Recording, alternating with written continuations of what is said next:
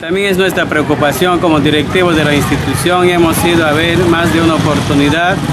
Eh, hace más o menos un mes que los técnicos, personal de Loreto se han ido y han hecho la extracción, digamos, de, del agua, pero eh, la poza se llenó otra vez.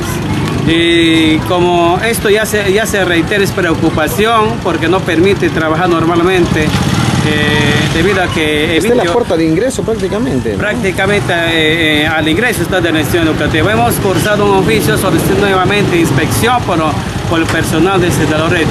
Tal es así que el día de ayer el personal se asistió a verificar, a hacer limpieza eh, llevando sus equipos de motomoma, pero al parecer no es la solución porque hoy amaneció otra vez eh, lleno, con agua servida, con olores prácticamente que no permiten trabajar normalmente.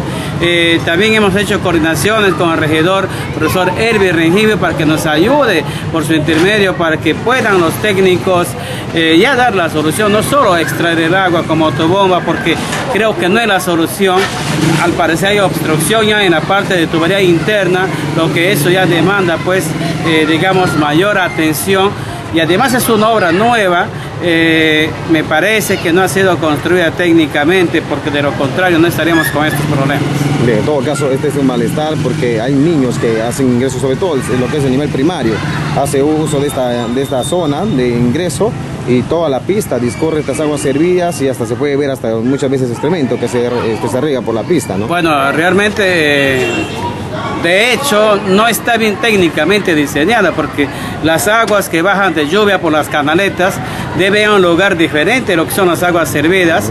Eh, al parecer eh, todo se mezcla y, no solo los niños que transitan, sino en el interior de la institución, eh, ahí está ahora el sol, cuando es fuerte prácticamente el olor llega a todas las aulas y lo que a su vez impide incluso los niños reciben sus alimentos en las aulas fastidia, molesta, incomoda a todos, pensamos que ya es eh, estrictamente responsabilidad de la empresa para dar solución.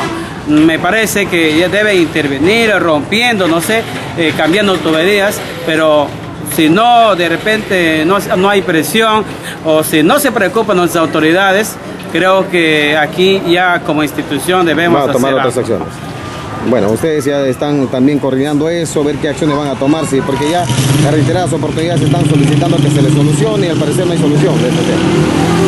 Nosotros agradecemos que se han ido a hacer la limpieza, pero no es la óptima solución porque no es para solucionar un minuto o un par de horas. Lo que queremos solución que no haya esa agua servida, eh, que vean dónde está obstruido. Para eso creo que hay personal técnico, hay profesionales eh, para que puedan dar solución. Y no puede estar frente a una institución educativa, también a la puerta de ingreso, donde los niños salen, corretean, caminan, para que puedan ingresar y al salir pues un charco, se encuentran toda la pista regada de olores fétidos, se pueden resbalar, se ensucian y realmente es insoportable el olor que se desde ese sector. Bueno, eh, se está peligrando la integridad física de los estudiantes tiene una gran cantidad de estudiantes. Y, ¿Cuántos alumnos tiene? Eh, bueno, tenemos más de 600 estudiantes a nivel primario. Eh, y no solo los niños que estudian, los vecinos, pobladores que se encuentran cercanos a la institución, eh, preocupa esto y debe darse solución, creo, de la manera óptima sin llegar a, reclamos posteriores. Creo que es responsabilidad de la empresa dar solución y no esperar pues hacer marchas, manifestaciones creo que hay manera de diálogo, pero lo importante es dar los puntos, como se dice, ya previos para la solucionar, para que vean el personal, para que hagan el estudio.